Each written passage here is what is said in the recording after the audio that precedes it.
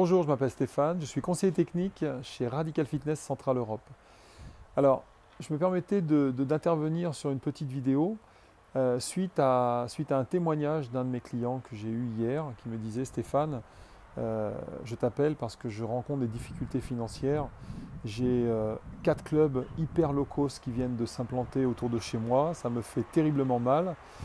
Alors, j'ai eu un long échange avec lui et je lui ai expliqué un petit peu mon point de vue. J'ai dit écoute, je vais t'expliquer un petit peu mon point de vue euh, et, comment réagir un petit peu par rapport à, cette, cette, nouvelle génération de, de, clubs de fitness hyper low cost. Alors, on s'entend bien quand je parle de clubs hyper locaux. Ce sont des clubs euh, sans valeur ajoutée, c'est-à-dire sans personnel, sans cours collectif avec des coachs par exemple, à des prix euh, défiant toute concurrence qui peuvent démarrer de 5 euros jusqu'à 14,90 euros euh, sur toute l'année avec en plus des forfaits famille.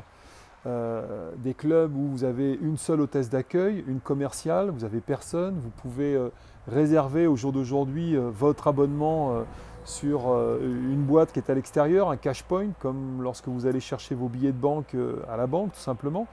Donc euh, voilà, ça c'est une réalité de terrain. Aujourd'hui, vous avez une société qui arrive en masse et qui propose ce genre de, club. Je ne citerai pas le nom, hein, des, franchises qui commencent par la lettre B de couleur orange. alors, mon point de vue par rapport à ça en tant que, professionnel de, de l'art mise en forme et prestataire de service, c'est de dire à tous les patrons de clubs, oui, c'est une réalité au jour d'aujourd'hui, oui, ça fait très peur, oui, ces clubs-là font extrêmement mal au marché, mais il y a deux choses qu'il faut comprendre. C'est que dans un même temps, ça apporte beaucoup à la remise en forme. Euh, en France, nous n'avons pas la culture du sport. Quand je suis arrivé chez Radical Fitness il y a 5 ans maintenant, nous avions un taux de pénétration de 3%. C'est-à-dire qu'en 2012, 3% des Français pratiquaient la remise en forme dans les salles de fitness. Grâce à ces clubs hyper low cost, on est arrivé, je crois qu'on arrive aujourd'hui à 8,2, 8,3%.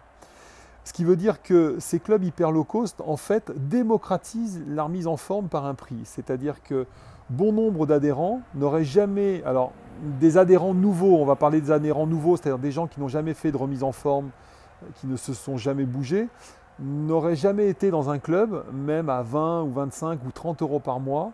Euh, par contre, là, ils y vont allègrement, ils, rentrent allègrement dans ces clubs low cost, euh, parce que d'abord, il y a un marketing de folie, il y a énormément d'argent derrière, il y a une chaîne, de télé, euh, il y a des 4 par 3, il y a, une communication énorme au niveau du marketing, et, en fait, ces adhérents rentrent avant tout par un prix.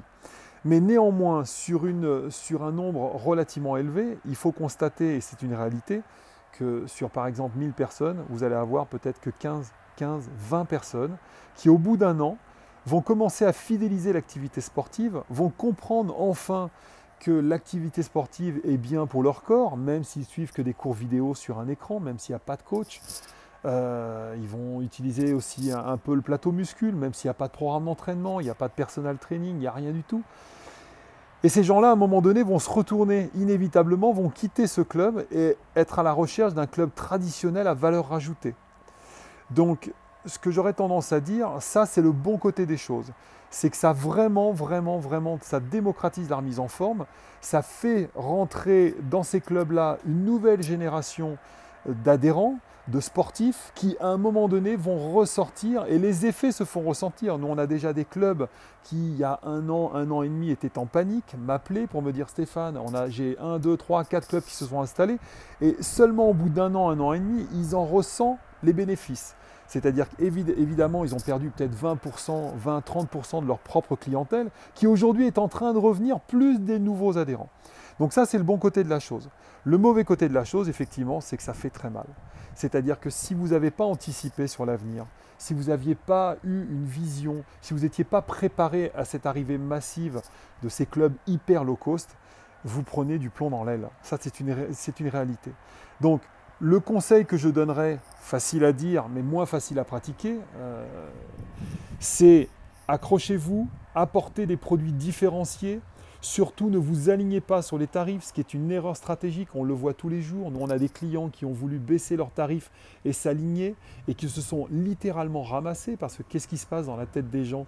Lorsque vous avez un abonnement à 29,90 euros et que vous les amenez à 19,90 euros ou 15 euros pour vous aligner par rapport à votre concurrent, votre concurrent, pardon, vous dupez vos adhérents. C'est-à-dire que ces adhérents se disent, mais en fin de compte, il y a belle lurette qu'il aurait pu baisser ses tarifs.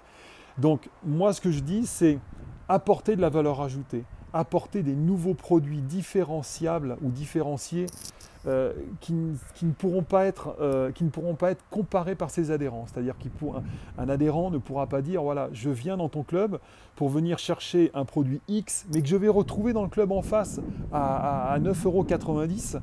Donc, apporter des solutions nouvelles. Euh, n'oubliez pas que nous sommes dans un métier de relations sociales et dans un métier de service. Euh, il est fort de constater, moi je le vois tous les jours, tous les clubs qui réussissent sont des clubs qui ne sont pas forcément tenus euh, par des gens qui, reviennent de la, qui viennent de la forme. Ce sont des clubs qui sont tenus, par exemple, par des gens qui ont tenu des restaurants, qui ont travaillé dans la restauration et dans, dans tous ces genres de business où la notion de service est hyper importante. C'est-à-dire qu'ils apportent de l'humain dans le club, tout le monde connaît le prénom des adhérents. On apporte, on, crée des espaces cocooning avec un petit bar où il y a la possibilité de prendre un shaker euh, de, protéines, où il y a la possibilité de faire un jus de fruits naturel.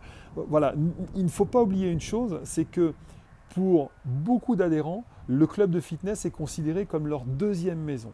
Donc il faut apporter de la valeur ajoutée par rapport à des produits différenciés, des cours collectifs nouvelle génération, des, des, machines différentes, faire des bilans de santé, axer aussi le fitness sur la santé, c'est super important, avec un bilan à l'entrée.